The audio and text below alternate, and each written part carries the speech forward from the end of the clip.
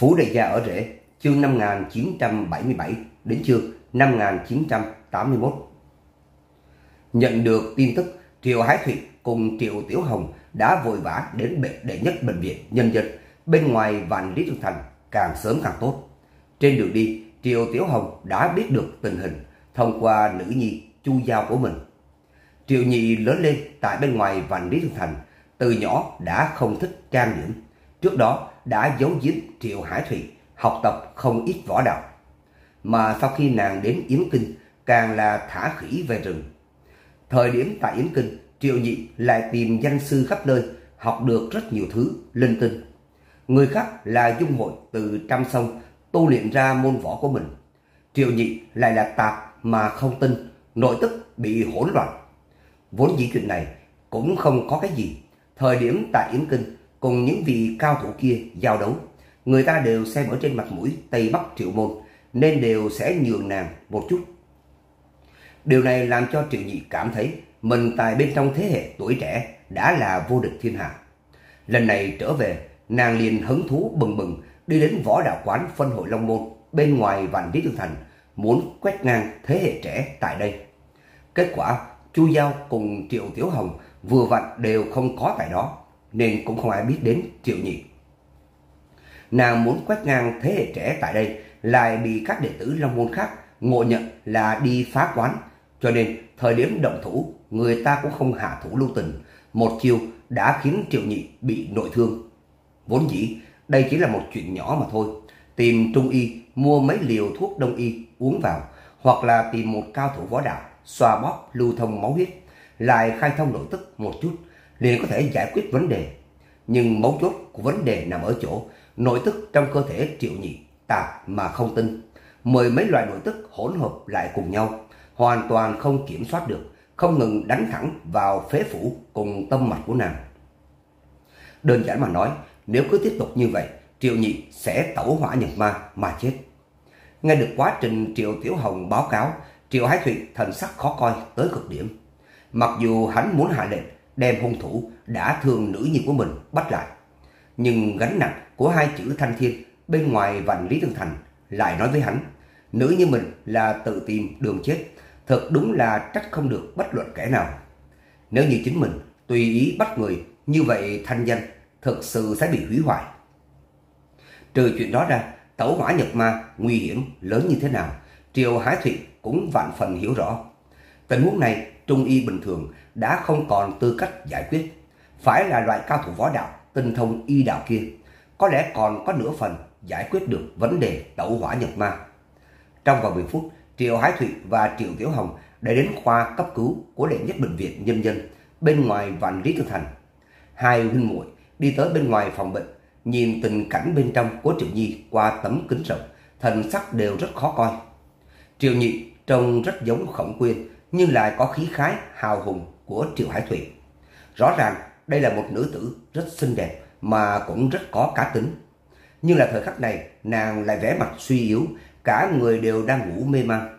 Đồng thời, sắc mặt nàng vô cùng tái nhợt, thỉnh thoảng khẽ cau mày. Rõ ràng mặc dù đã ngủ mê man, thế nhưng là cả người vẫn vô cùng đau đớn. Triệu Tiểu Hồng, thân là cao thủ võ đạo, nhìn xem một màn này, sắc mặt lúc này trầm xuống. Đại ca, tình huống này chỉ sợ... Không đợi nàng nói hết lời, liền nghe được cách đó không xa, có một loạt tiếng bước chân dồn dập truyền đến. Đi đầu chính là một nữ nhân vóc dáng uyển chuyển, khuôn mặt lạnh lẽo. Trên người nàng mang theo một loại khí tức có tài trí, đồng thời lại lộ ra, lộ ra một chút khả nhân. Chỉ cần là nam nhân bình thường, nhìn thấy dạng nữ nhân này đều sẽ vô thức muốn đi chinh phục.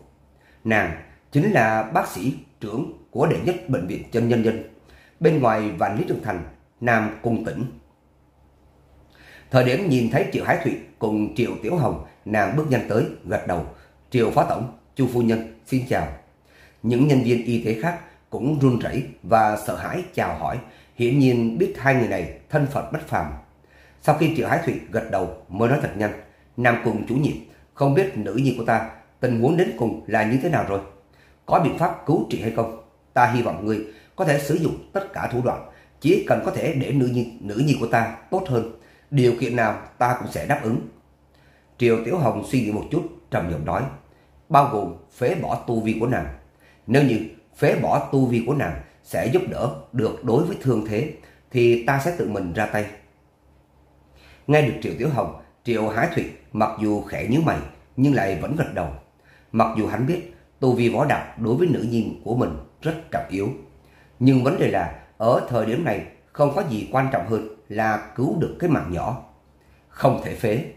Nam Cung Tĩnh hít sâu một hơi, vẻ mặt vô cùng nghiêm túc. Ta mặc dù không phải là cao thủ võ đạo, nhưng là đối với võ đạo cũng có mức độ hiểu rõ nhất định. Triều Phó Tổng, lệnh ái tình huống hiện tại nguy cấp, đúng là bởi vì nội tức hỗn loạn mà đưa tới. Thế nhưng là trong lúc này, khí tức cũng giữ lại cho nàng một cái mạng. Một khi phế bỏ tu vi của nàng, có xác suất cực lớn, nàng sẽ trực tiếp mất đi tính mạng. Thế nhưng là không thể cứ tiếp tục như vậy mãi được. Tình trạng trong cơ thể của nàng nhiều nhất chỉ có thể giúp nàng cầm cự được 3 ngày. Nếu trong 3 ngày không nghĩ ra biện pháp giải quyết, hẳn là chết không nghi ngờ. Nam Cung Tĩnh rõ ràng lưu loát đem tình huống của Triệu Nhị nói ra. Đây là bởi vì thanh danh thanh thiên của Triệu Hải Thủy bên ngoài vạn lý trường thành, cho nên nàng mới đem tất cả nói ra. Nếu như đổi lại những người khác sẽ tùy tiện giận chó đánh mèo, gây phiền phức cho bệnh viện. Nàng thật đúng là không dám nói ra sự thật. Dù sao, những người bề trên này đa phần là không giảng đạo lý. Chỉ có ba ngày thôi sao? Triệu Hải Thủy sắc mặt trắng nhợt. Ở thời điểm này, máu đã xông lên trên đầu của hắn. Sự tỉnh táo mà hắn vẫn luôn lấy làm kiêu ngạo, nháy mắt biến mất. Giờ phút này mang theo vài là phần cuồng loạn, tức giận rống lên. Vậy ngươi còn không mong nghĩ suy nghĩ biện pháp một chút ta? Nơi này là đệ nhất bệnh viện nhân dân bên ngoài vạn lý trường thành. Quan phủ hàng năm cấp phát mấy trăm triệu cho các ngươi nghiên cứu các dự án. Kết quả các ngươi liền một, một cái nội thương của tiểu nữ sinh đều không cứu được. Các ngươi mỗi ngày đều ăn cơm trắng mà làm hay sao chứ?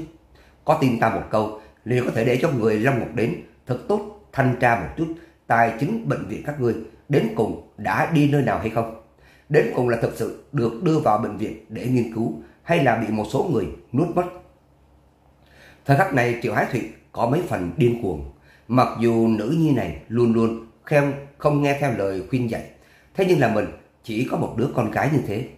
Đây là trái tim của mình, tính mạng của mình à. Nếu quả thực xảy ra chuyện, mình cũng không thiết sống nữa. Nhìn thấy vị thanh thiên bên ngoài vành lý trường thành, giờ phút này có mấy phần kích động đến mức phát điên. Tỉnh táo như Nam Cung Tỉnh, giờ phút này cũng là hít sâu một hơi, nhanh chóng nói. Dương Phó Tổng, võ đạo ngài so với ta còn hiểu hơn. Cho nên, ngài cũng hẳn phải biết nội tức hỗn loạn, tẩu hỏa nhập ma đến cùng là cái tình huống gì. Hiện tại, chỉ có loại nội tức nội gia quyền nàng tu luyện trước kia đang che chở cho tâm mạch của nàng. Thế nhưng là một khi loại nội tức nội gia quyền này tiêu tán, như vậy liền thực sự không còn cách nào có thể cứu. Mà chúng ta nếu như tại trong lúc này phế bỏ tu vi của lệnh ái hoặc buộc phải can thiệp bằng các biện pháp khác, thì tâm mạch lệnh ái cũng sẽ trong nháy mắt phế bỏ. Cho nên... Nói đến đây, Nam Cung Tỉnh thần sắc cũng có mấy phần khó coi. Nàng chần chừ một lát sau mới nói khẽ. Dương Phó Tổng, ta sẽ nghĩ biện pháp triệu tập cao thủ võ, y võ song tu. Ta sẽ nghĩ biện pháp triệu tập cao thủ y võ song tu bên ngoài vạn lý trường thành, thậm chí là Đại Mạc, thậm chí là cả nước. Chúng ta nhất định sẽ nghĩ biện pháp cứu người. Chậm nhất sáng ngày mốt sẽ có một phương án hoàn toàn mới đưa ra. Nói không chừng có lẽ có biện pháp cứu lệnh ái. Thế nhưng là chúng ta cũng không dám hứa chắc liền nhất định hữu hiệu. Và đến đây, Nam Cung Tĩnh sắc mặt cũng có mấy phần khó coi. Phương án hoàn toàn mới sao? Có lẽ có biện pháp hay sao? Không dám hứa chắc sao? Trần Hải Thụy, Triệu Hải Thụy giờ phút này vẽ mặt tái xanh tái xám. Các người lừa được những người thường dân cũng không cần ở trước mặt ta lấy ra huyễn hoặc. Các người cũng không cần ở đây gài bẫy với ta. Ta không nhìn quá trình, chỉ nhìn kết quả. Nếu như nữ nhi của ta chết đi, như vậy ta nhất định sẽ thật tốt thanh tra bệnh viện này một chút. Để con sâu làm rầu nồi canh, trả giá đắt. Thời điểm nói ra lời này, Triều Hái Thụy mặt mũi tràn đầy đều là sát khí. Hắn, loại người danh xưng thanh thiên này, một khi thực sự muốn bất chấp mà làm việc, khả năng vận dụng năng lượng là vượt quá sức tưởng tượng. Bởi vì ở thời điểm này, tất cả mọi người sẽ muốn bán cho hắn một cái ân tình. Mà kết quả của việc làm như vậy coi như để nhất bệnh viện nhân dân bên ngoài vạn Lý Trường Thành chỉ sợ sẽ có rất nhiều người bị, bị đi tù ngồi một xương. Mặc kệ là Nam Cung Tỉnh hay là các nhân viên y tế khác, hiển nhiên đều biết kết quả này cho nên giờ phút này nhịn không được, chính là đánh run một cái. Nam Cung Tỉnh hít sâu một hơi, nhìn Triệu Nhị một chút mới chậm rãi nói. Triệu Phó Tổng, chúng ta sẽ dốc toàn lực ứng phó. Nhưng vấn đề là chúng ta chỉ là bệnh viện chuyên khoa. Vấn đề về võ đạo chúng ta giải quyết không được. Đây đối với chúng ta mà nói là một cái ngành học hoàn toàn mới. Cho nên Ngài vui lòng cho chúng ta thêm một chút thời gian. Chúng ta sẽ nghĩ biện pháp, sẽ dốc toàn lực ứng phó. Triều Hái Thủy lạnh lùng, nói một ngàn, đạo một vạn, đều là các ngươi vô năng mà thôi. Tại bên ngoài vạn Lý Thương Thành nơi này sẽ không giải quyết thương thế võ đạo hay sao chứ? Phế vật! Nam Công Tĩnh một mặt khó xử, không biết nói cái gì cho tốt. Triệu Tiểu Hồng nhanh chóng ngăn lại Triệu Hải Thủy đang muốn bùng nổ, nói khẽ. Ca, Nam Cung chủ nhiệm nhất định sẽ toàn lực ứng phó. Chúng ta đi nghỉ ở phòng khách chờ đợi. Tuyệt đối không được tạo cho các nàng áp lực quá lớn để tránh chậm trễ thời điểm cứu chữa mấu chốt. Nghe nói như thế, Triệu Hải Thủy mới hơi tỉnh táo trở lại. Hắn nhìn thật sâu, sắc mặt vô cùng tái nhợt của nữ nhi của mình một chút. Sau đó đi đến phòng khách quý, ngồi xuống nghỉ. Tẩu tử cô đâu rồi? Trong phòng nghỉ, Triệu Hải Thủy trầm giọng mối miệng. Triệu Tiểu Hồng nói khẽ, tẩu tử vừa mới rồi, thời điểm nghe được tình huống của Triệu Nhi, chiều không được đả kích, đã hôn mê. Bác sĩ kiểm tra qua, nói hiện tại không nên tạo kích thích cho nàng quá lớn, cho nên liền vào nước muối sinh lý cho nàng, hiện tại đã ngủ. Triều Hải Thụy sắc mặt biến đen, hung ác nói, ngủ, lúc này còn ngủ được sao? Nữ nhi cũng không biết kế tiếp là cái tình huống gì, nàng thế, thế mà còn có mặt mặt mũi hôn mê hay sao chứ? Nếu như không phải nàng, một mực nuông chiều triệu nhị mới khiến cho triệu nhị vô pháp vô thiên như thế, hiện tại rơi xuống kết quả như vậy. Nếu như nữ nhi của ta xảy ra chuyện gì, ta nhất định sẽ không bỏ qua cho nàng. Đối với Triệu Hải Thụy, loại người cơ hồ bất cận nhân tình này mà nói, nữ nhi là uy hiếp lớn nhất của hắn. Thề tử của mình ở bên ngoài diễu võ dương ngoài hắn có thể giả vờ không biết, nhưng là bởi vì nguyên nhân thê tử chính mình hại chết nữ nhi của mình, như vậy hắn tuyệt đối sẽ không tha thứ cho vợ mình. Triệu Tiểu Hồng nói khẽ, đại ca, hết thảy đều là vì Triệu Nhị, anh vẫn không nên quá tức giận. Chúng ta, việc cần phải làm bây giờ là bảo trì tỉnh táo tuyệt đối, không nên bởi vì xúc động nhất thời làm những việc mà cả đời này phải hối hận à. Triệu Hải Thủy nâng lên nước trà trên mặt bàn uống một ngụm mới trầm giọng nói, cô có ý gì? Triệu Tiểu Hồng nhìn trần nhà trống rỗng, hồi lâu mới nói khẽ. Bởi vì cái gọi là cởi chuông phải do người buộc chuông. Vấn đề lớn nhất của Triệu Nhị lần này là cho nàng luyện võ bừa bãi để cho nội tức của mình hỗn loạn, tâm mạch lúc nào cũng có thể bị xung kích. Đừng nói là Nam Quân Tỉnh, coi như những thầy thuốc khác có đến cũng có xác suất rất lớn, không có bất kỳ cái tác dụng gì.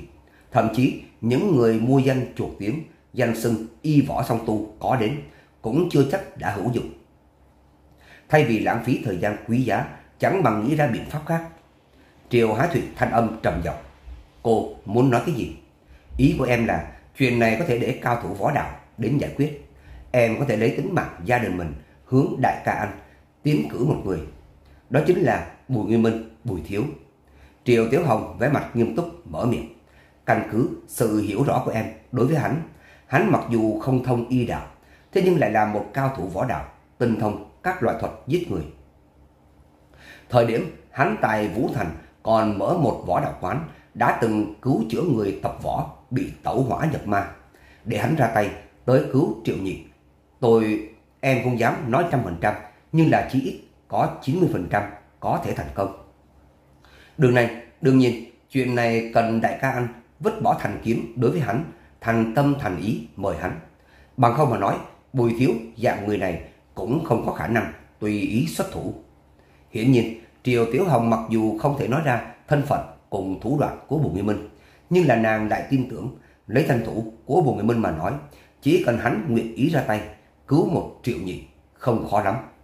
Dù sao là Long Môn thiếu chủ, đại biểu võ minh đại hạ, Bùi Thế Tử, lĩnh Nam, mỗi một cái linh thân phận này đều là bằng chứng năng lực của Bùi Nguyên Minh vượt quá sự tưởng tượng.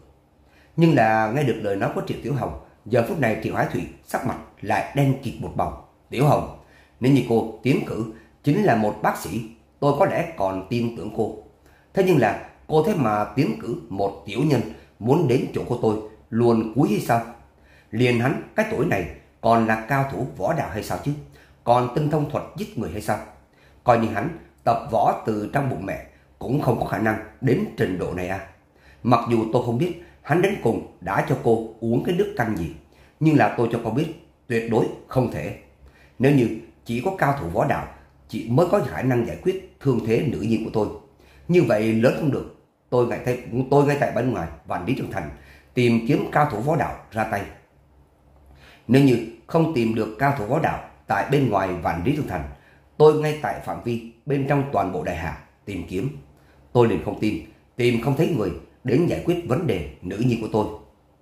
Triều Tiểu Hồng thở dài một hơi. Đại ca, những cao thủ võ đạo kia, mỗi một người kiêu ngạo đều rất lớn nha. Không phải chúng ta mở miệng liền có thể mời được. Trừ phi vận, vận dụng năng lượng của triệu môn chúng ta. Thế nhưng là như vậy, anh ngày sau, tại nội bộ triệu môn, liền chưa hẳn có thể một mực bảo trì thái độ trung lập như hiện tại. Mà lại, nước xa không cứu được lửa gần.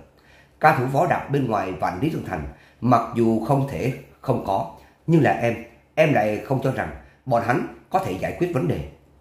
Triệu Hải Thụy lạnh lùng nói, đó là cô nghĩ, mà không phải là tôi nghĩ. Cao thủ võ đạo dân gian bên ngoài vạn lý trường thành không chữa được, tôi liền đi binh bộ mời. Binh bộ mời không chữa được, tôi liền đi thánh địa võ học mời. Tôi liền không tin, tôi sẽ không tìm ra người. Tôi cho cô biết, trong chuyện nữ nhi của tôi, tôi tuyệt đối sẽ không mời Bùi Nguyên Minh xuất thủ. 12 giờ khuya, Nam Cung Tĩnh cầm một cái máy tính bảng trong tay, hít sâu một hơi về sau, mới đẩy cánh cửa phòng nghỉ ra. Bên trong cánh cửa, Triều Hải Thụy hai tay chống lên đầu gối, buông thõng đầu, đang chợp mắt. Mái tóc chải gọn gàng của hắn giờ phút này đã rối bời. Nghe được tiếng bước chân, hắn ngẩng đầu, dùng con ngươi đỏ ngầu quét nhìn Nam Cung Tĩnh một chút, về sau mới trầm giọng nói.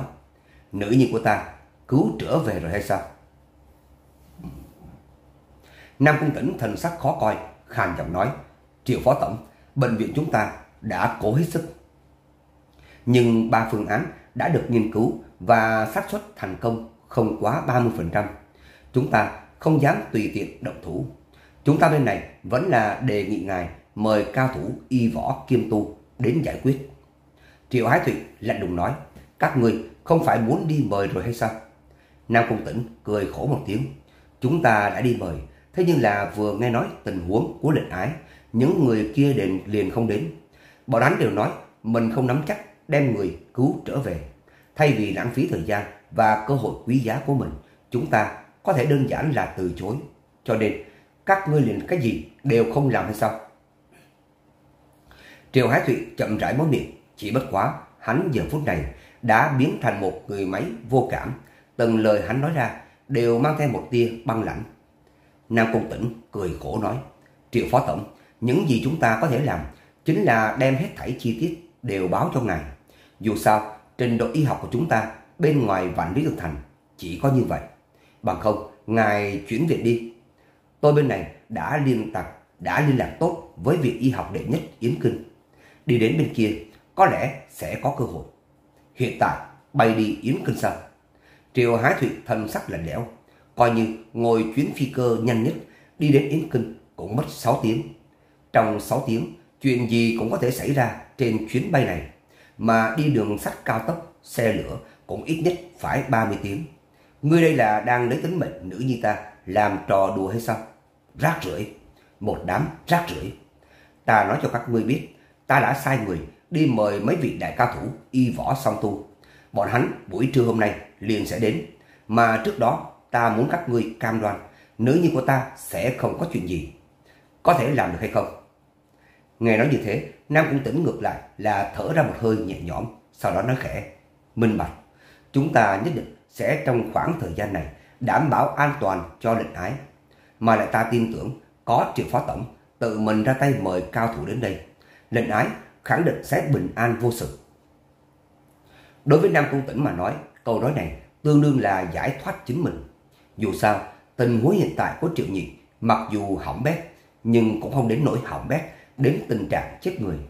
Kiên trì đến giữa trưa, 12 giờ mà thôi, hẳn là có thể làm được. Mà nghe nói như thế, Triệu Tiểu Hồng sắc bạch lại có chút tối sầm. Nàng hiểu rất rõ đại ca nhà mình.